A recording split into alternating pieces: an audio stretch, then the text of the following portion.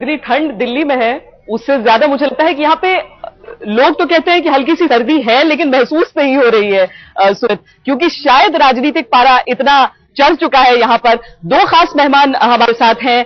प्रणव जी हमारे साथ लगातार बने हुए थे, दैनिक भास्कर के संपादक हैं। बहुत स्वागत है प्रणव जी आपका। शाइना एनसी भी हमारे साथ जुड़ चुकी है। आपका भी बहुत बहुत स्वागत है शाइना जी। लेकिन हम पहले अपने दर्शकों को चार तस्वीरें दिखा दें, चूँकि मतदान जैसे जैसे आगे दिन बढ़ रहा है वैसे वैसे लोग निकल रहे हैं। सौराष्ट्र का इलाका, वहाँ की तस्वीरें हम आपको दिखाते हैं। किस तरीके से राजकोट में मतदान चल रहा है, हम पोरबंदर की भी तस्वीरें आपको दिखाते हैं, साथ ही हैं भरूच की तस्वीरें और साड़न की तस्वीरें भी इस वक्त हम आपको आपकी टीवी स्क्रीन पर दिखा रहे हैं। हर जगह पर हमारे संवाददाता भी तैनात हैं।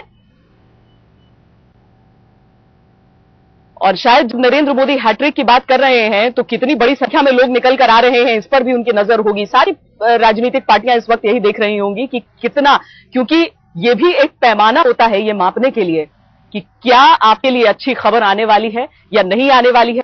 फ़िलहाल तो बस उनकी धड़कनें बढ़ रही होंगी। गुजरात का भविष्य क्या? गुजरात का सरदार कौन? यही हमारी खास पेशकश लगातार आज तक जारी है। प्रणव जी, जिस तरीके से हम लगातार हर मुद्दे की बात कर रहे हैं यहाँ पर। कहीं ना कहीं क्या जाति का मुद्दा जो है वो ज़्यादा हावी रहेगा? पटेल का वोट जो हम आ, बता रहे हैं अगर केशु भाई अपनी तरफ़ से अपील करते हैं तो क्या थोड़ा सा नर्वस होने की ज़रूरत है नरेंद्र मोदी को? क्योंकि जितनी बड़ी तादाद में जितना प्रतिशत जितना जितनी संख्या में उनकी आबादी है थोड़ा सा नहीं उनको बहुत ज़्यादा नर्वस होने की ज़रूरत है क्योंकि है कि इस बार धर्म का मुद्दा सतह पर नहीं है। हाँ। तो इसलिए जाति का मुद्दा बहुत ही बहुत ही उभर के आ रहा है। और पटेलों ने जिस तरह से सम्मेलन करते गए केशु भाई ने तो शुरुआत की कि पटेल काफ़ी भयभीत है।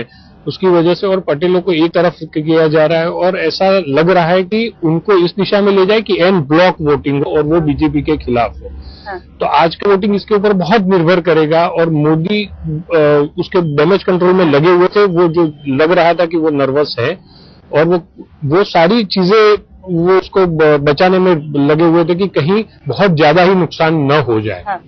लेकिन नरेंद्र मोदी जब भी बोलते हैं तो विकास के बारे में बोल रहे हैं। ये चीज़ें हावी हैं, क्योंकि अब तो दबे छुपे भी नहीं, अब तो खुले आम पर कहा जा रहा है कि आप फला को वोट दें, आप फला को वोट ना दें। इस तरह की चीज़ें भी कही जा रही है। नरेंद्र मोदी आश्वस्त हैं कि विकास उन्हें जिताएगा। बिल्कुल श्वेता, क्योंकि मुझे लगता है कि जो विकास उन्होंने किया है, सिर्फ़ शहरों तक सीमित नहीं है। आप देखिए, आज ग्रामीण क्षेत्र में ब्रॉडबैंड कनेक्टिविटी हो, या सड़कों की जो योजना है, या फिर पानी की जो चेक डैम्स की समस्या थी, जहाँ पानी वेस्ट होता था, जहाँ चेक चेक डैम्स उन्होंने इनिशिएट किया है, मुझे लगता है कि हर एक क्षेत्र में इतनी तरक्की और प्रगति हुई है। और यहाँ बैठ के ये डाइसेक्ट करना कि कास्ट वोट होगा या डेवलपमेंट वोट मेरे हिसाब से गलत है, क्योंकि समाज में ना सिर्फ़ पटेल समाज के लोग हैं ओबीसीज हैं राजपूत हैं ठाकुर हैं बहुत सारे लोग और बीजेपी की जो आइडियोलॉजी है हमारी एक कमिटेड वोटर है जो हमेशा बाहर आती है बीजेपी को आ, समर्थन देती है और यहाँ तो प्रगति और समर्थन दोनों साथ साथ क्योंकि जिस व्यक्ति ने राजनीतिक इच्छा शक्ति दिखाया है दिखाया है कि वो भ्रष्टाचार के खिलाफ है मुझे लगता है कि भारी संख्या में सौराष्ट्र में आप देखेंगे भारतीय जनता पार्टी को वोट ज़रूर मिलेगा। प्रणव जी अगर परिसीमन नहीं होता तो क्या ये इतना आश्वस्त स्वर एक सुनाई देता? परिसीमन की वजह से इस तरीके से सीटों का बंटवारा हुआ है सीटों की प्रोफ़ाइल बदली है। परिसीमन से हुआ ऐसे है कि ग्रामीण क्षेत्रों की सीटें कम हुई है और जो शहरी क्षेत्र है उनकी सीटें बढ़ी है। और शहरी क्षेत्र पकड़ है। शहरी क्षेत्र में बीजेपी की पकड़ ज़्यादा है और मोदी की पकड़ मतलब अनपेरेलल है ऐसा माना जाता है। तो ये सीटें अगर सौराष्ट्र के नुकसान को भरपाई करेगी तो उनको फ़ायदा है। पर अगर सौराष्ट्र में बहुत ज़्यादा डैमेज हो गया या नॉर्थ गुजरात या सेंट्रल गुजरात में ज़्यादा डैमेज हो गया तो वो भरपाई नहीं कर पाएँगे, सीटें कम होती जाएगी।